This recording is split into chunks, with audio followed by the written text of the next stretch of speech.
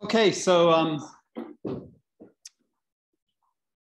one thing, as I was just mentioning for a few of others, if you can fill in the survey, you should receive the survey, Google Forms survey by email, where I'm just kind of trying to get a sense of where everyone is with um, being able to set up a MariaDB server, because obviously that's needed for the practical.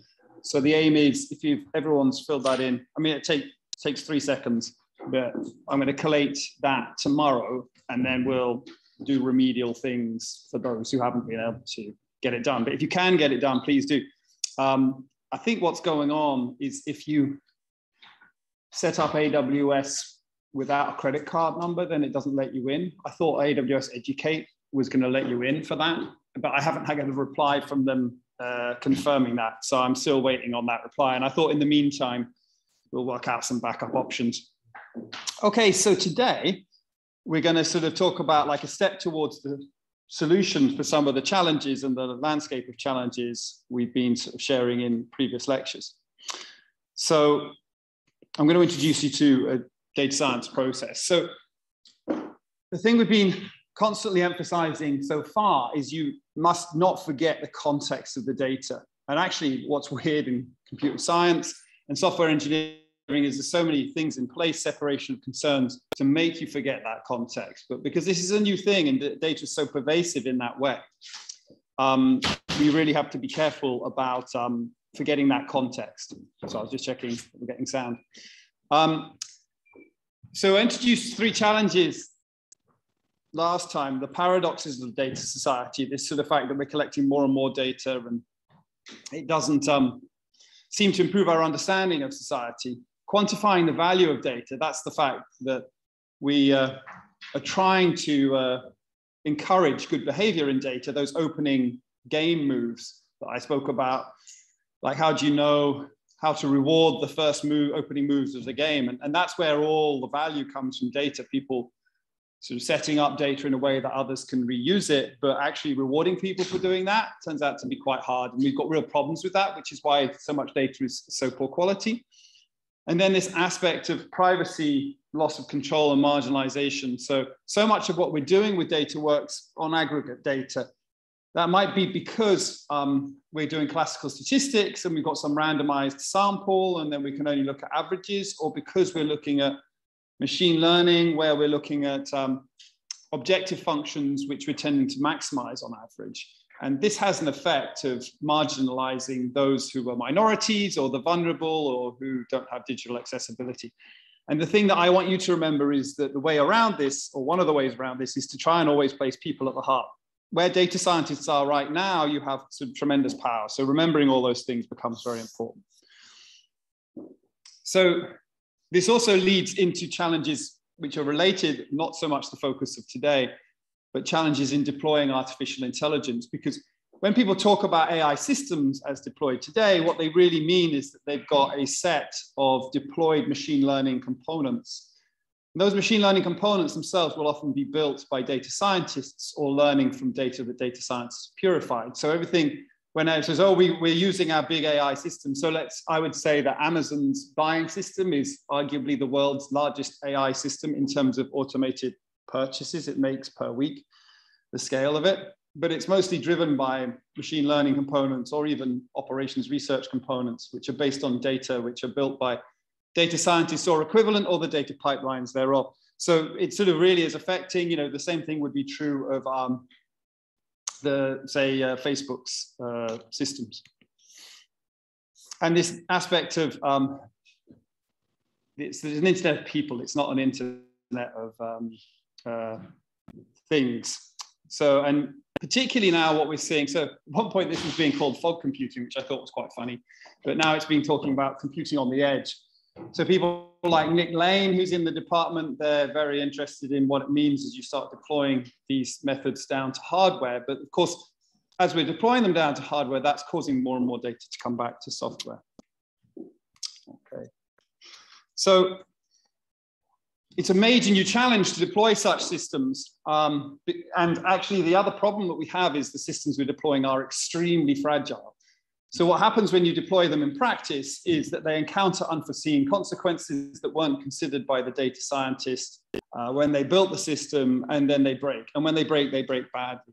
So your that's a component we've not really talked about so far. This is the interaction between um, machine learning and sort of large scale computer systems, uh, service oriented architectures. And I'm not going to talk about it too much today because I really want to sort of focus on the piece that um, you're going to mainly be doing for your project. But once again, I just want you to know the context of why this all becomes so important because the data driven decision making is becoming a sort of linchpin in this whole edifice, right? And it's being done really badly. So that's kind of very worrying.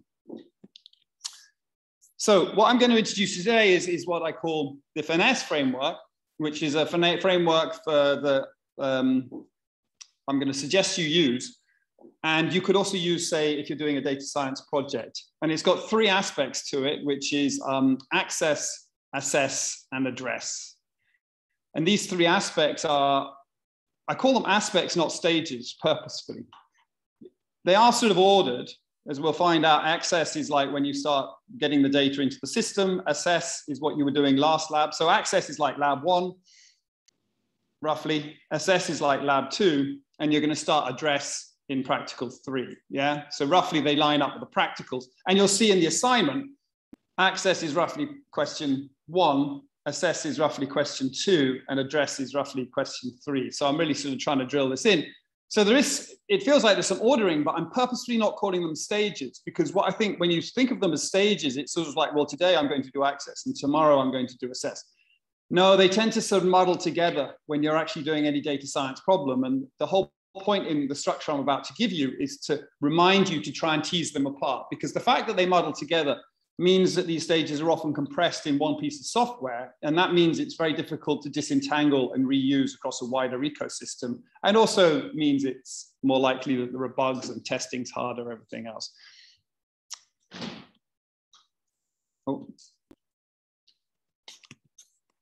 So just to put this in context, I'm going to first also introduce the CRISP DM uh, framework for data mining, which in CRISP stands for Cross Industry standard process or something, and DM stands for data mining. So this is a data mining process that was created in um, the year 2000, and you'll see it being mentioned when people talk about data science. Um, I think it's got some good aspects, but I think it, and it really covers a lot of the things that we were talking about. But the, th the sense that this is happening, that's, I don't know, somehow people are pushing these things between different people is, um, is not the way it's working at the moment. A lot of this is just being collapsed into your head. I mean, so maybe like the, you might you might not have to worry too much about deployment, um, for example, but you are going to have to worry about each of these interfaces. So this is a sort of long-standing framework. I have never seen anyone talk about it within Amazon, but I see people talk about it within academia quite a lot. Um, so it's sort of worth mentioning. What I like about it is it has these aspects to it, like the, the data preparation and the modeling. It, it, acknowledges that there's some iteration between them.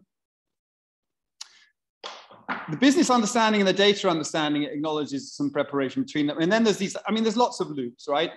I'm not quite sure, you know, at which point you start um, stop operating loops. I'm not, for example, sure that data understanding leads to data preparation and doesn't lead to data understanding for me, there's like loops everywhere, right? This is so connected at the moment uh, because the, the business understanding, right? And then there's this, this clear, there should be a connection somehow between deployment and business understanding as well. And this is why I'm kind of loading you with all this, oh, kind of, you sort of need to know everything at the moment because of the pervasiveness of what's going on. But I think it's sort of a, useful starting point as a framework. But what I want to emphasize is it, it's a framework for data mining. And this is the Google Trends, which you know I like using data to analyze data science. And so this that, that's published in 2005. So this is 2004. Now, what's interesting is you see the search term data mining going down, but conversely, you see data science going up. Now, we know this is all, as we've already said, this is just to do with what the technologies are and the perceptions of things are.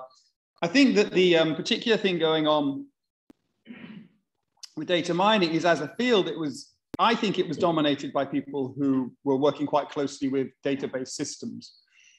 And so that was quite powerful because it meant sort of 20 years ago, those were the insights that you could derive quickly because they were sort of insights that you could always, I always think the sort of data mining algorithms are, I mean, some of them are really, really cool and really fast, but a lot of them are of the form, oh, I can fit that in a SQL query. Yeah, quite a short SQL query. So, and that sort of makes sense because back in sort of 20 years ago, that was the, somehow the limit of our ability perhaps to compute on the type of data sets people cared about. So my sense is that why does data science emerge today? Well, data mining never really made use of machine learning. I mean, it's sort of interesting what strong separation there was between the data mining and the machine learning field. I think that they've come, the people who are in those fields are much closer together today and, and working under this umbrella of data science. So you sort of see the terms faded somewhat. Um, I mean, this is, this is my personal opinion. Someone who worked in data mining might have a different opinion, but they certainly weren't using, like back here, we were still using lots of machine learning algorithms.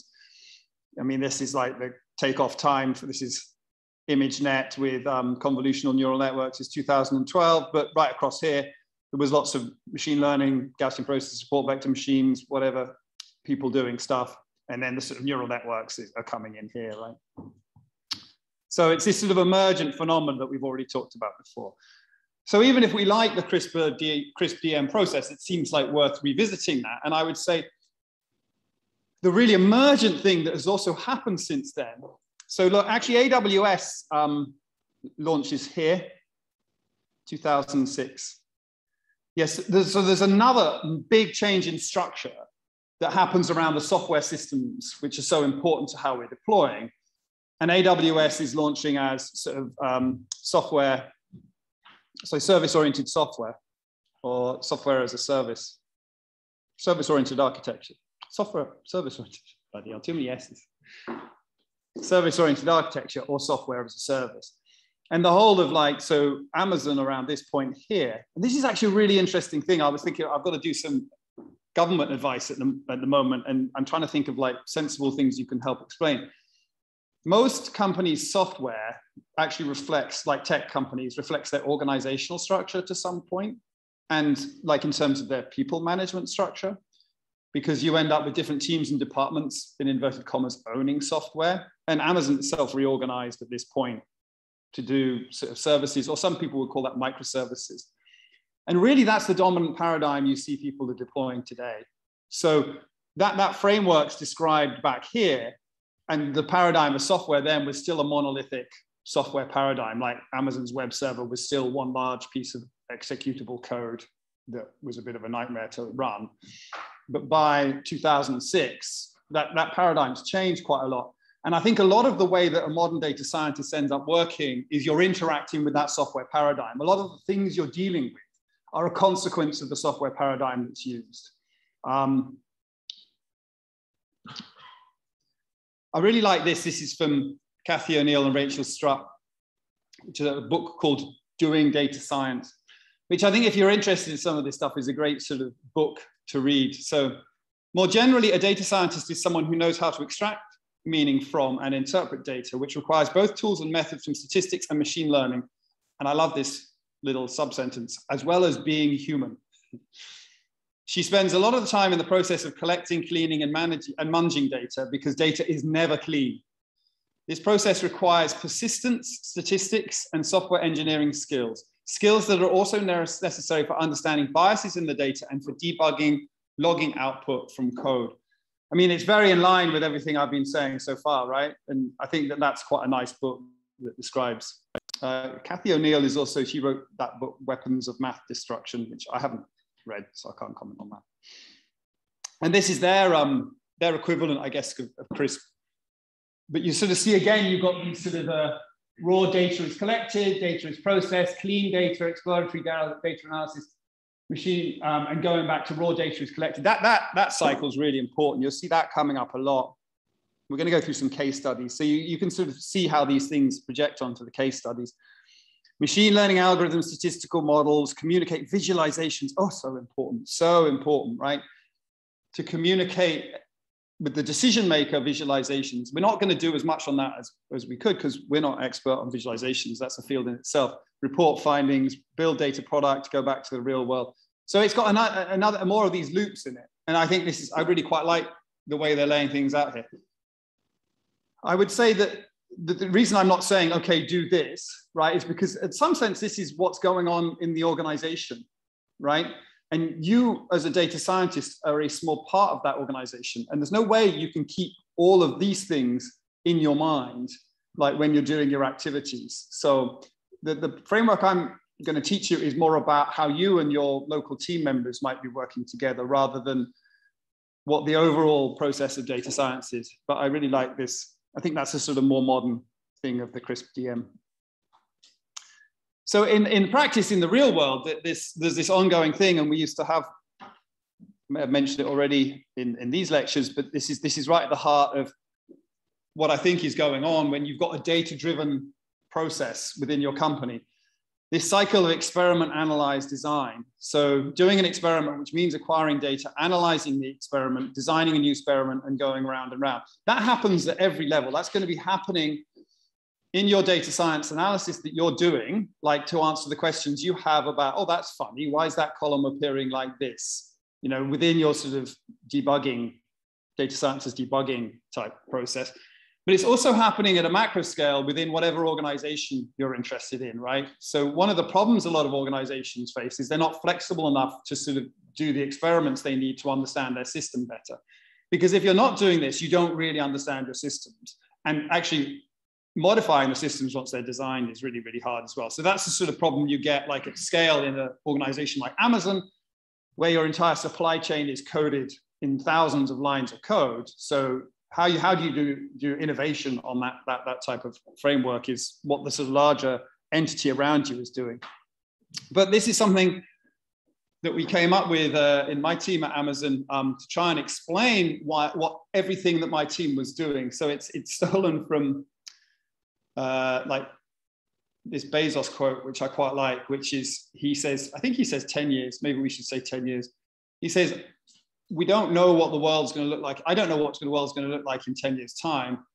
I think he has this approach of saying, but it's, it's quite easy to say some things it won't look like. And his whole thing is around selling. So he says, well, people won't want to pay more for stuff. They won't want to wait longer for stuff. And they won't want a smaller diversity of selection for stuff. So Therefore, the company prioritizes reducing delivery times, reducing costs, and increasing diversity of selection. And because you can say, well, whatever the world looks like, that's what it's going to want. So stealing that, you can think about that in terms of your data science systems. So you won't know what science or data science will want in five years' time, but we won't want slower experiments. We won't want more expensive experiments, and we won't want a narrow selection of experiments. And a lot of the problems we have at the moment with data science ecosystems is you've got an ecosystem that really slows down the experimentation because the data isn't clean, the provenance of the data is hard to work out, et cetera, et cetera. So companies are going to become more quantitative and more data driven, right? I think would be a general sort of rule. So improving the quality of these systems is going to be like a major priority in the same way that improving the quality of software engineering was. So faster, cheaper, more diverse experiment, experimental capability, I should say, probably for this audience. Better ecosystems for experimentation. This is something my team works on, data-oriented architectures. So this is a research area under Auto AI that we are writing about, where you go beyond service-oriented architectures and you say, well, in service-oriented architectures, you stand up a service and that's necessary but not sufficient for a data-oriented architecture. In a data-oriented architecture, you stand up a data stream. So your, your software team is not just responsible for the quality and availability of the service, it's responsible for the quality and the availability of the data stream, which tends not to be incorporated in current software engineering techniques. And you need new, you need new socialization of that idea and you need new technologies to make that easier to do. So that's like a big area that my team works on. Another um, another thing we haven't spoken about so far, data maturity assessment. So this is like when I do exec ed, I'm always saying, oh, this is the first thing you should do. Work out how easy it is for people in your company to access each other's data. So a data maturity assessment is really an access assessment. It says, well, go around the company and ask people, how easy is it for you to get the data you need to do your job? And then how easy is it for you to get data from people in your team? And how easy is it for you to get data from people outside your team? And basically, at some point, you'll find, well, that will require an email. You know, the, and then at some point, it's like, well, could we get rid of that? Because you really don't want a system where, in order to get the data, people are emailing and visiting each other. But that's very often the case. So that data maturity assessments is, is a way of uh, grading companies according to how, how good they are. It's something we introduced in the tech survey at Amazon across the whole organization. And data readiness levels we already discussed last time, trying to assess the quality of data. So that's assessing the quality of the corporation, that's assessing the quality of or government or hospital or whatever, the quality of um, the data. Okay, so um, there's a video there that you can watch, which is about, which is a talk I gave at the Alan Turing Institute, which is was about what it was like trying to do um, data-driven decision-making in the early pandemic. Um, so policy science and convening power data. If you want to watch that, that'll give you sort of more details of how these things are panning out in uh, when you're trying to do rapid government advice. Okay, so just to sort of say a little bit about the service-oriented architecture. So the, notice, the, the notion in service-oriented architecture is I'll have a bit of code which will have a number of REST APIs. They're all sitting inside.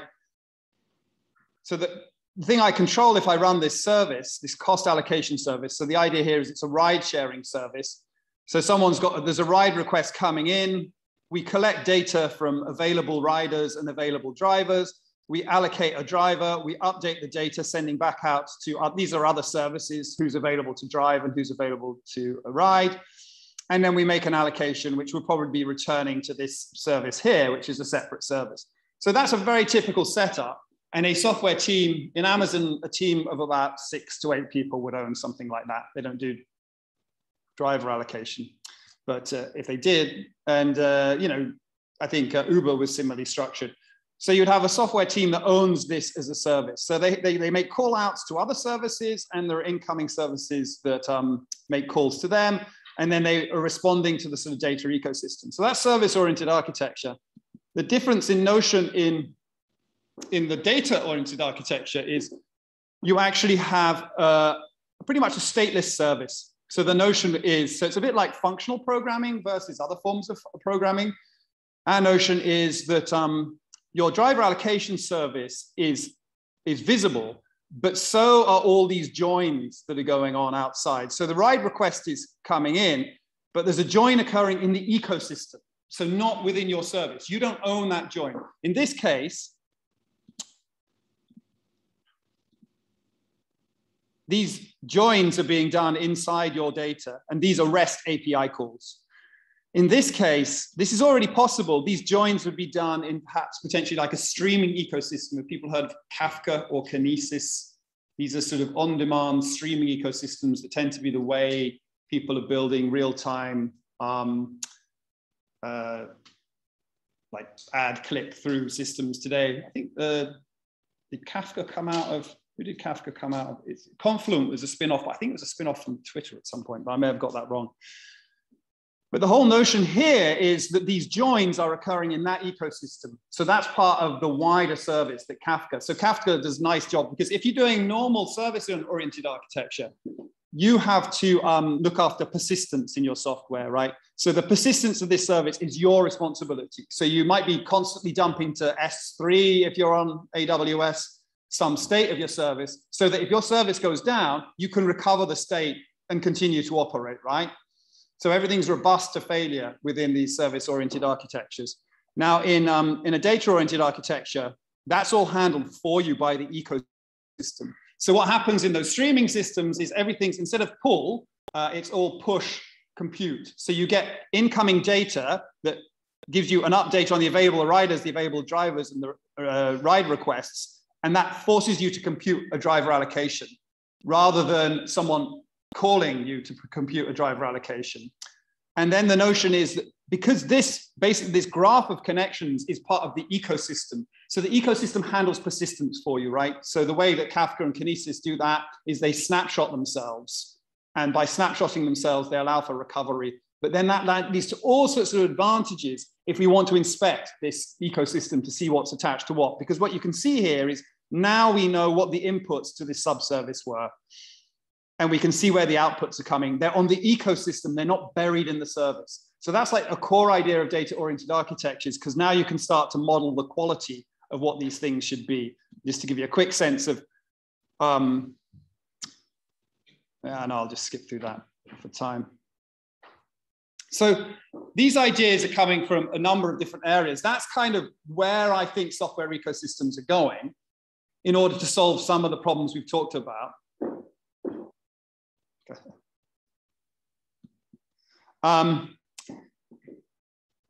so that's where some of these systems are going. Um, they're not there yet. And the fact that they're not there yet gives us a load of headaches.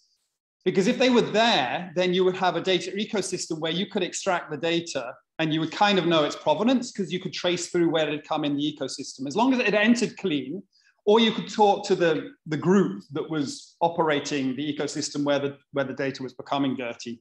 And you could automatically monitor that. You could do this thing called progression testing. You could deploy tests to make sure everything's coming through as expected. At the moment in service-oriented architecture, you have no idea about any of that. So that's a big interest within the research group. With the inspiration for the framework, so what does it mean for you? So the work you're going to do, and this is all coming from initially work with Data Science Africa, then sort of work in Amazon, particularly in the supply chain, and then the Royal Society Delve group. So I, I kind of, this is a sort of accumulation of what I think is, what I should have said when I first arrived, say at Amazon or wherever else. So the, the motivation for these problems is that I mean, there's and this is a talk here again. You don't have to watch it, but if you can watch it if you're interested, this complexity of what everything you're pulling together in this service-oriented architecture is leading to this problem that uh, this guy Jonathan Zittrain. So I knew this problem existed. I didn't have a name for it, and then I found this name. This guy Jonathan Zittrain, who's at Harvard, calls it intellectual debt.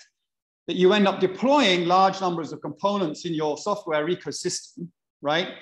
Um, you understand each component, but you don't understand the system as a whole. So there's something called technical debt, which is I deploy a, a, structure quickly in an effort to get things working. And then I find that's very hard to maintain. So technical debt is the way I deploy, I don't think enough about my engineering, and then I incur technical debt and the maintenance. Intellectual debt, fine, maybe you're on top of your maintenance, but you, you deploy all these components that are interacting, you can't understand how they're interacting. And my favorite example of intellectual debt would be Mark Zuckerberg, sort of the day after the US election, saying the idea that um, we affected the election in any way is, is crazy. It's a crazy idea, he said. And eight months later, they reported to Congress on all the ways that Facebook's had um, spread news that was originating from the Internet Research Agency to the number of Americans that saw it, which is something like 80 million to fake news that was generated from a place with like 100 people working on it. And it's not because it was a conspiracy, it's just they don't understand their own systems and how people could exploit them. This also happens with search engine optimization, many, many things, right? It's quite hard to manage these complex systems. So into the Fynesse framework, I mean, because that's like, that's the big picture. And actually we go right down to what you're doing in any given moment.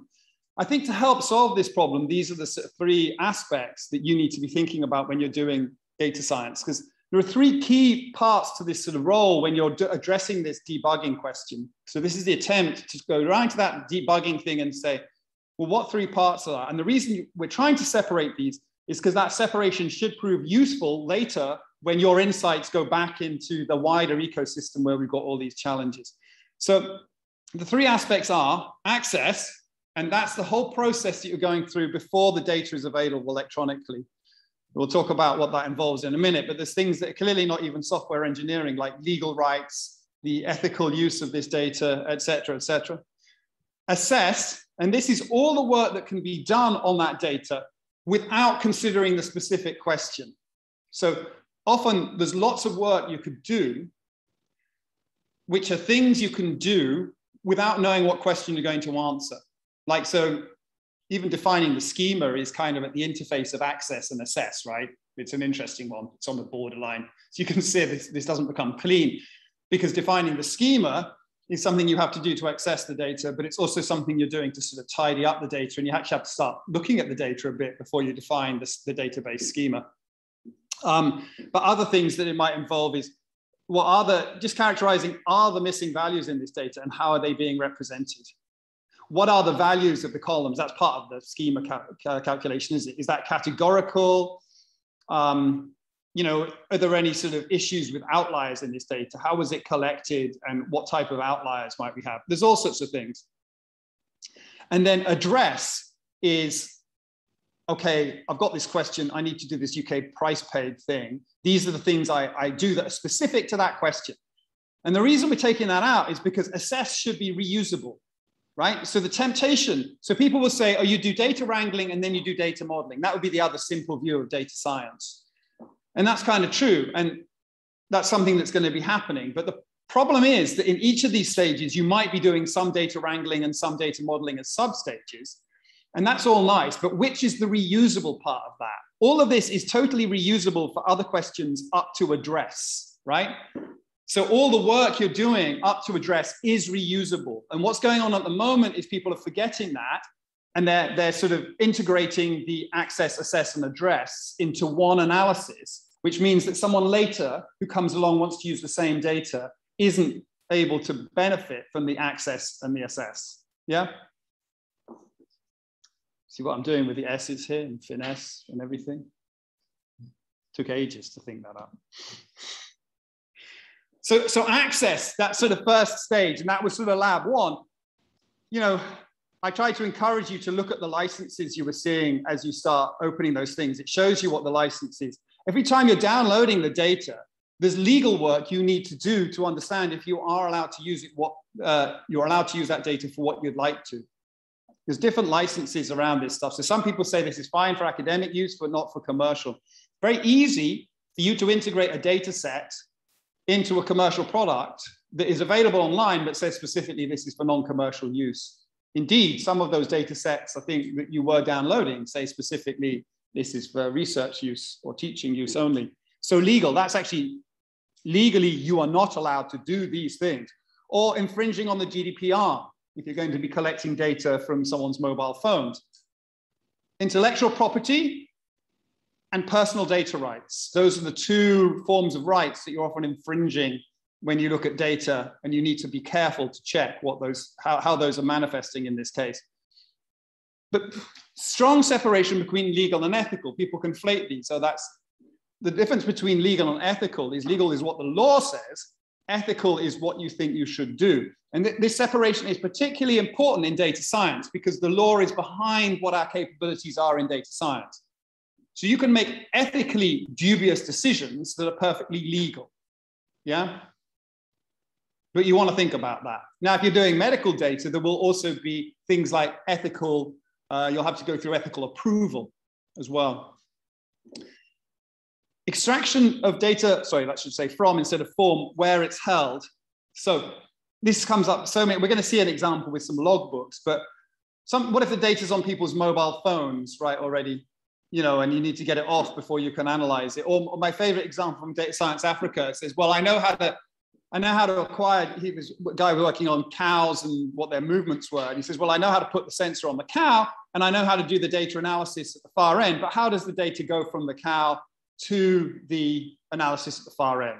Yeah, that's actually where all the work is. You know, everyone's teaching the, the first and the latter thing, but it's far more work to build a data ecosystem that can collate. I mean, we've got this, you see all these uh, screens around giving you the Cambridge um, data on buses and all that sort of stuff. Imagine how much work is going there to collate that data. So sometimes that comes up. It could be that the data is written on physical or it could be written that the data is in a software ecosystem like the one I just described with service-oriented architectures, and it's undeclared. And you have to go to every team saying, what data are you using? That's really common. So I had a part two project last year where we were working with an F1 team, and it was very cool because the F1 team just gave the student their API for what the project was about. And so that the student then had to go through the API, finding out where all the data was being written, you know, and, and pick out the data from the API. So that's all I would say access stuff. And this is all associated with the data readiness level C that we spoke about earlier. So quick case study. This is from um, uh, the guy on the uh, left there is Jimmy and the guy on the right is Mike. And this was Crash Map Kampala. So um, Mike uh, was, uh, this is a picture of Kampala and he was cycling to the university there and the traffic is interesting in kampala and he was wondering I wonder what's the large, what's the largest killer of say young um, people in Africa? Uh, is it road accidents? Actually, people have done more work on this since then. I think the answer is basically yes. But in order to try and find that out, he wanted some data. And Jimmy happened to be a master's student at uh, University, but also happened to be in the Kampala police. So they started working together to take logbooks that were recorded in every police station, what the form of accidents were, in order to try and assess what the level of uh, sort of death and serious injury is for car accidents within Kampala. So what number one thing would we now be thinking of is going to be an access thing that's going to come up? What was going to make us nervous now? Go ahead. Legal. Legal, yeah. Legal, and, and even if it, we, I don't know what the law is in, is in Kampala around um, GDPR, personal data rights, but there's going to be laws around those people and you know the information that you have in those logbooks, right? So obviously having Jimmy along for this ride and getting the aligned with the Kampala police was key. This doesn't work without Jimmy, right? If, he, if it's Mike trying this on his own, this, this just doesn't happen. Um, but even if the laws weren't in place, there would be ethical queries around whether you should be surfacing this data. And if you're working with a police force, there's going to be ethical queries often about what are they going to use that data for? What's the nature of this police force? You know, uh, what, how much can you trust?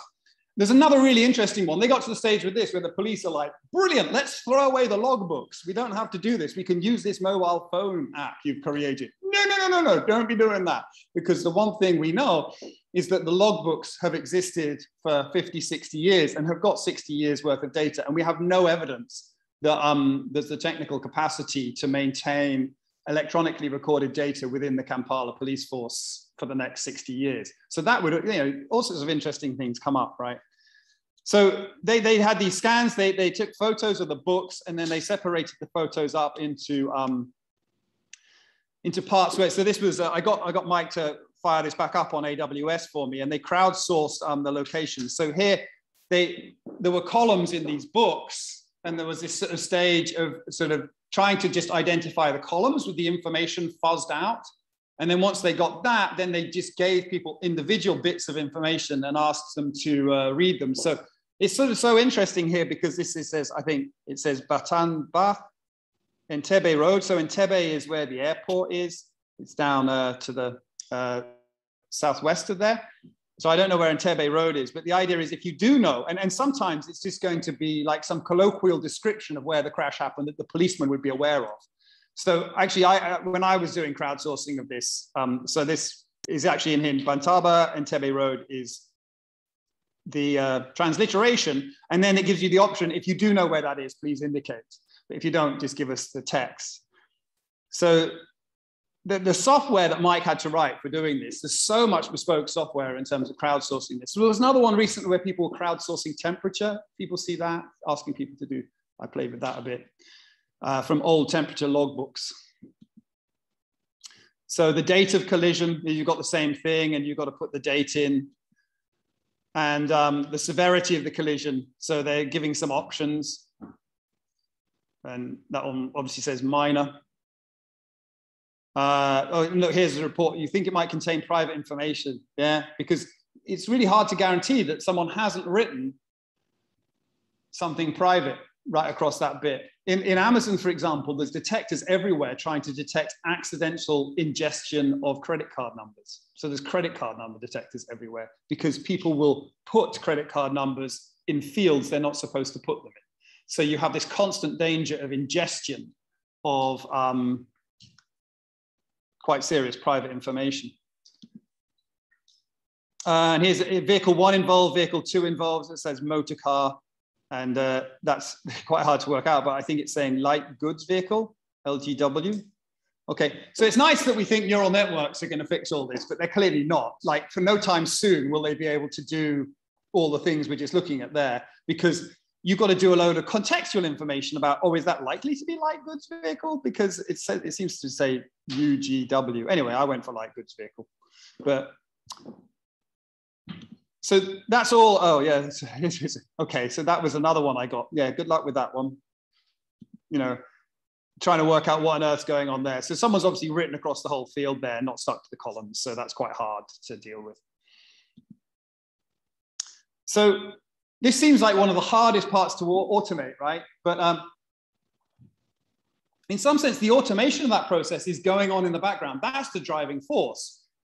This so-called digital transformation we're all experiencing is what's driving the need for data science. So it is ongoing. And one of the annoying things is that you can ages trying to collect such data. But as soon as something is digitally automated, the amount of data you will get is orders of magnitude higher than everything you've collected in the past.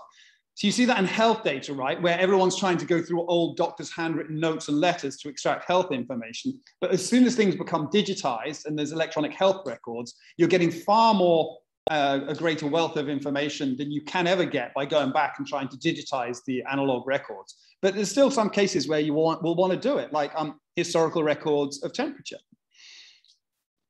So assess is only the things you can do without knowing the inverted commas question. And the whole point is to ensure that this is reusable across tasks. Um, and this whole notion is driven by this big phenomenon of happenstance data. And I would associate it with data readiness level B mainly, but you know, it's in your head is what is this, is this task I'm doing now? Is it an access task or is it an assess task? I want you to separate that. And I'll show you how you're going to separate it, a proposed way of separating it at the end. So we've got a quick case study on that. This is uh, Joyce's project, um, text mining for COVID misinformation. So this is a project that she got sponsored by Data Science Africa to try and look at what the misinformation situation is going on in uh, Uganda around where COVID is, what's going on with vaccination misinformation. You know, it's funny today, there's more and more stuff in the press about Facebook's ability to um, track misinformation on their platform uh, in English. How well do you think they are doing in Aramaic or Bugandan or any other language that is being used? And, you know, basically seems the answer is they're just not. So this is a very serious problem because these are far less stable um, democracies with far fewer institutions to try and regulate that form of misinformation. So Joyce here is working on that. So she's trying to look at Twitter. And in this case, there's, there's a whole load of sort of work that you could imagine as assessed. So she can get that data from the Twitter API, but then imagine all the things she's going to try and do to that data to try and extract information. So some of the things in the, oh, this, so this is just some information about where the usage is. So this is a usage of Facebook in um, uh, Uganda. So this is the percentage of people that use Facebook. You can see amongst the sort of generation 18 to 34 who are going to be perhaps quite significant. I mean, in, in this type of thing, it's, it's very widely used. Um,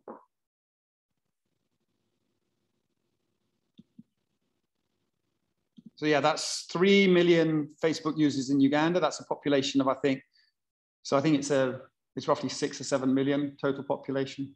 So that's quite high. So trying to find that information, very, very important. But there's any, hardly any low resource languages considered when detecting misinformation in COVID-19. The other problem that Joyce has is that there's hardly any tools for select for detecting things like intent and word detection for low resource languages like Ugandan or Ugandan English as well. So this comes a lot.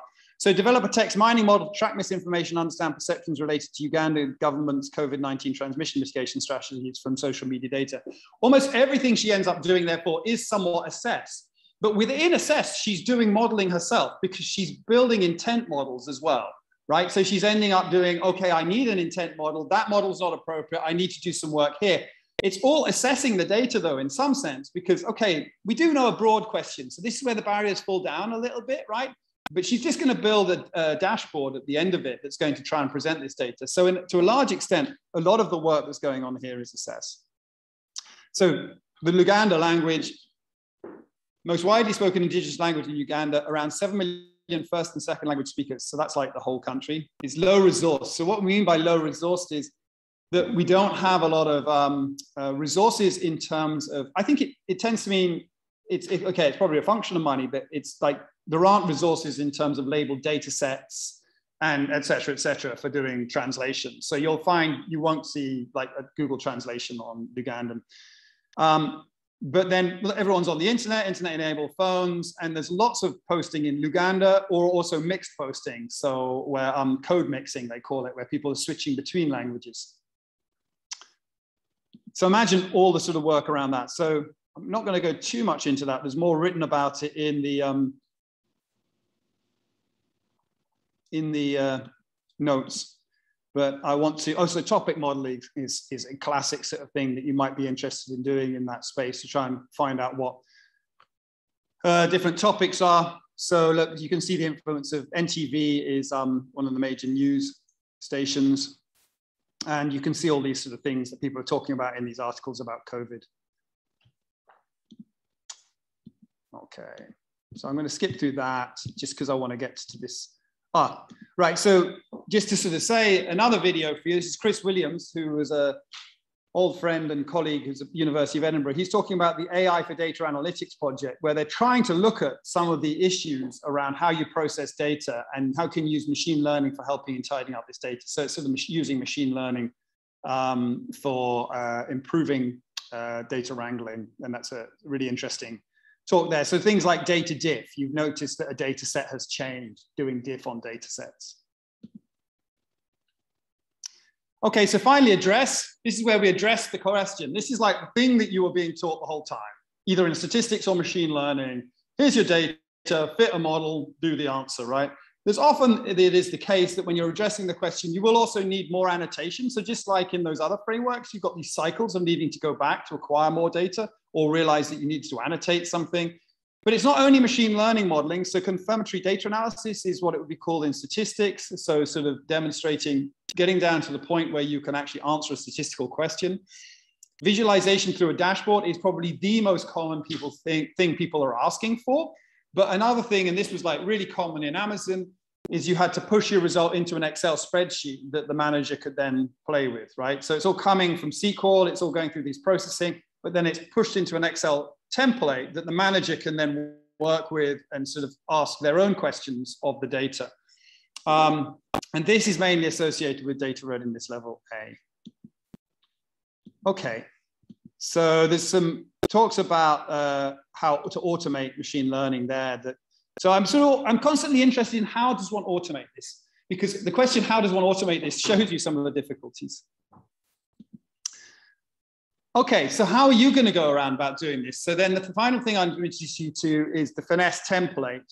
So what I'm suggesting you do for your assignment is that you um, build your own repo. You don't have to use GitHub. You can just recreate the template somewhere else, but build your own repo using this template. So what I've done, so as it says here, it's a repo for doing data analysis according to the Fynesse framework. And let's just uh, um, stop. Oh, I do that one. So let's go to the GitHub.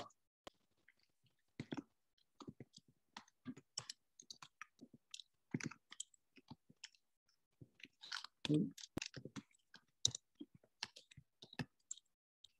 come up?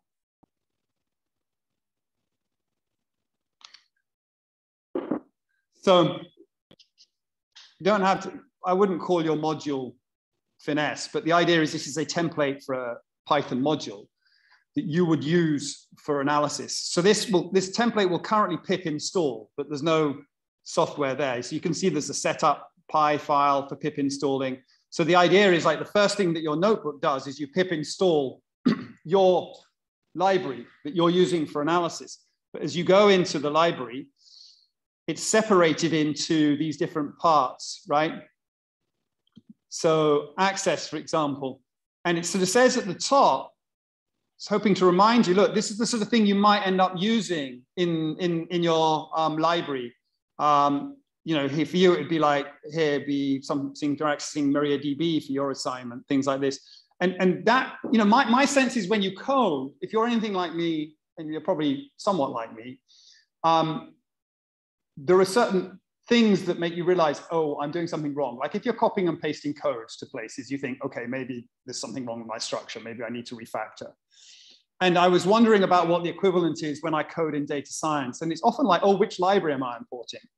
If I'm, if I'm importing an authentication library, that doesn't feel like a access. If I'm using an authentication library, maybe that's a clue that this is an access term. So what, what this library set up to do is once you've imported that, you've got your library dot access, dot assess, dot address, right? And so it's becoming very clear your notebook is going to include calls to that library. So you might start writing the code in the notebook. That's certainly how I do it. And then it gets to a certain point, I'm like, oh, right, this is, this is a function. This functionality needs to be moved into the library and it ends up being replaced. Like the, the pods.datasets.nmis, right?